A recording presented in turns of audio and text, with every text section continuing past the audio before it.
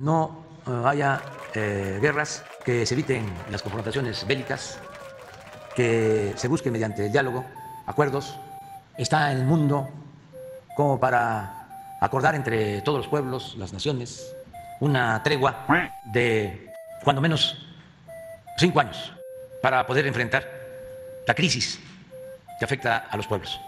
Una tregua que cese la guerra, la confrontación, las provocaciones, que las cosas queden como están, una vez que se detengan los enfrentamientos, en especial la guerra de Rusia y Ucrania, y que en cinco años, esto lo podría hacer la ONU, este, se haga una revisión, pero que todos hagamos el compromiso de no apostar a la confrontación, a las guerras, desde luego a la guerra bélica, pero también no apostar a la guerra comercial, porque esto nos afecta a todos. Primero fue la pandemia, luego lo de la guerra de Rusia con Ucrania, ahora estas tensiones en Taiwán.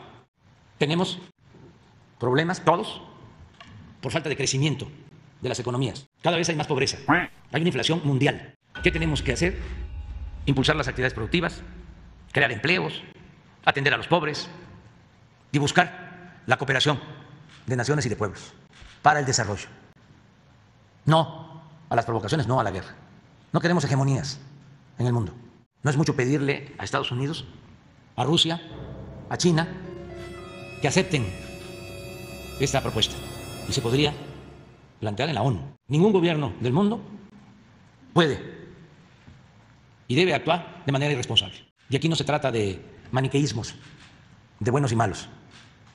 Aquí se trata de tomar en cuenta la necesidad de los pueblos. Imagínense si hay represalias en Asia y se obstaculiza el comercio.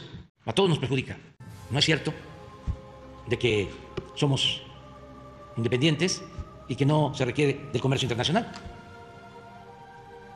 Ya es un mundo globalizado en lo económico, en lo comercial.